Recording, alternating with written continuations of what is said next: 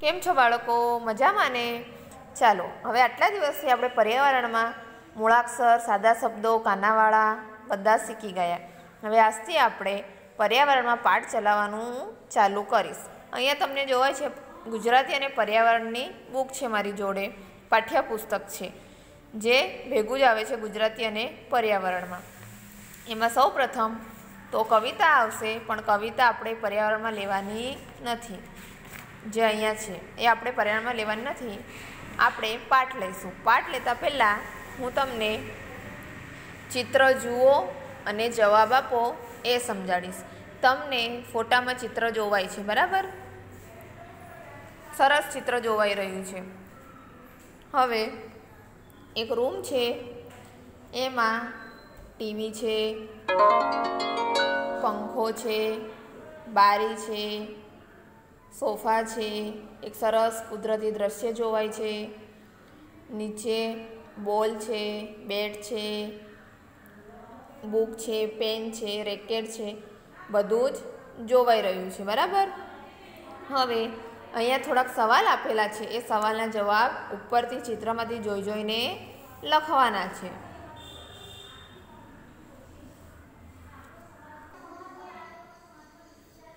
આ ચિત્ર શાનું છે? તો અહીંયા સવાલ છે, આ ચિત્ર શાનું છે? તો તમારે લખવાનું છે,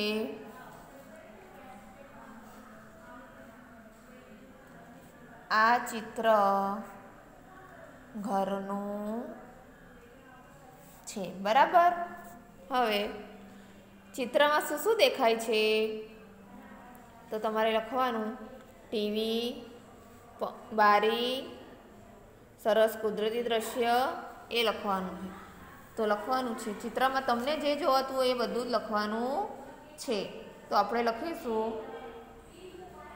ટીવી, બારી, સોફા વગેરે, જોવાય છે. બરાબર?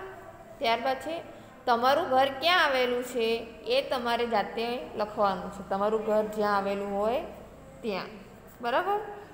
તમારા ઘર, તમારું ઘર સાની બાજુમાં આવેલું છે એ પણ તમારે જાતે લખવાનું છે.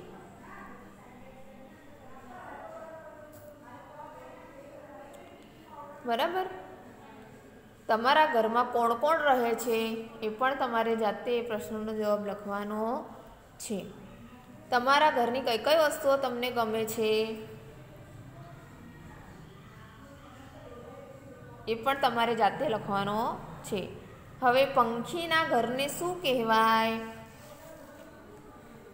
માણસના ઘરને શું કહેવાય છે? માણસ ક્યાં રહે? તો ઘરમાં. અને પંખી ક્યાં રહે? તો માળામાં. તો આપણે અહીંયા લખવાનું. પંખીના ઘરને માળો કહેવાય છે. બરાબર? આ ચિત્રનો ફોટો અને સવાલ હું તમને, આ ચિત્રનો ફોટો જ હું મૂકીશ અને સવાલ જવાબ તમારે લખવાના છે. એનો પણ હું ફોટો મૂકીશ. જેટલા સવાલ મેં અહીંયા લખાયા નથી એ તમારે જાતે લખવાના છે. બરાબર? ચિત્ર જોઈ જોઈને. હવે, અહીંયા એક સરસ રંગ પૂરો એમ કરીને એક ચિત્ર આપેલું છે ઘરનું છે, બરાબર? એનામાં પણ તમારે મનગમતા કલર પૂરવાના છે.